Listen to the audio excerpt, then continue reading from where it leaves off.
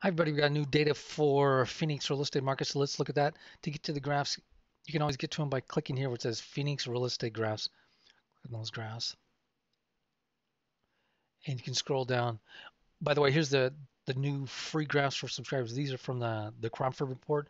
So if you subscribe, you'll get the email newsletters, which include the link to get to these graphs.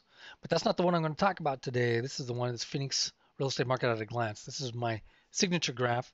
I put it together using Tableau, which is this software here, and it uh, there's three graphs total. And uh, I had uh, tons of problems with Tableau.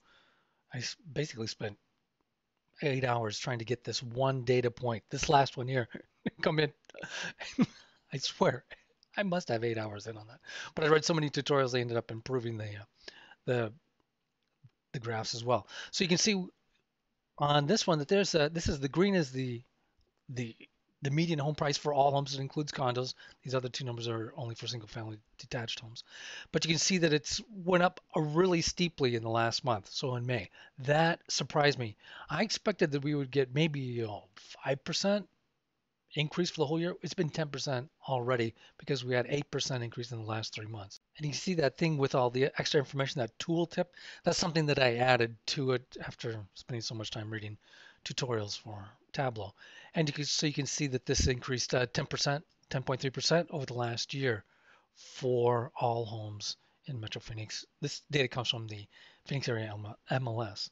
If you can go down here, you can see that the uh, inventory is falling as you kind of would expect and there's there's no home sold. When you look at the tooltip there's no home sold because we don't know the number for june yet. June's not over. But if you go back to may then you'll see that there it's filled in. We know how many homes sold and also the months of supply. So you can go through here and it's the same thing when you come down to the homes sold. I'm showing you both the number of homes sold as well as the months of supply and the number of homes for sale. So it's a good uh, way to get a feel for the market when the market is under four months supply, prices start to go up. When it's under three months, they really go up fast.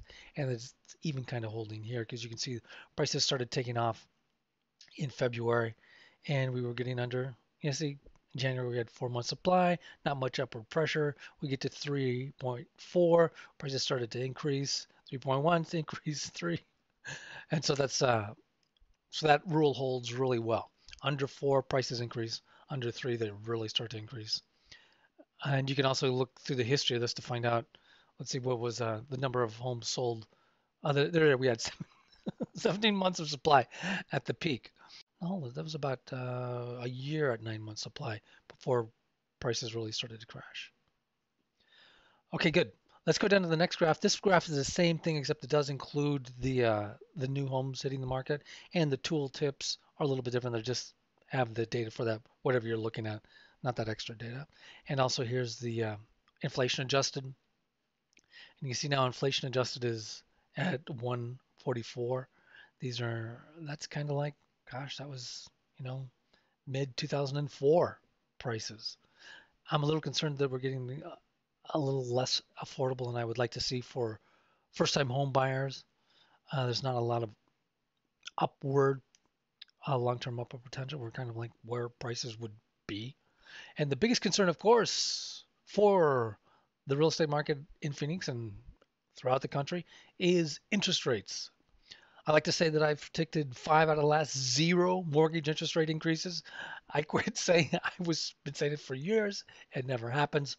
So I um, quit talking about it. But you know, someday they are going to increase, and they are going to have some impact. Uh, the rumor right now is or the word on the street is September.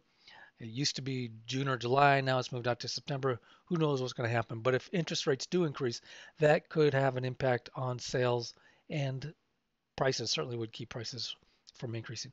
One thing you do typically see if you look at these graphs is after June, the prices. So it'll be interesting to see what kind of price increase we get for June. But after that, prices usually don't increase that much. So we could. Uh, so June's kind of the key. Where how much is it going to go up in June? And one more thing, we're back at the home page. If you click here on the Phoenix Real Estate graphs and scroll down, I add a new graph here called Market Overview from Phoenix Area MLS. So this is a great page. This is meant for real estate agents, but it's on a public web server, so I can uh, link to it. And this shows you some graphs that the um, the MLS sends out to the, the other real estate agent members. And you can scroll down to find it. And at the bottom, there's a really good write up from Tom.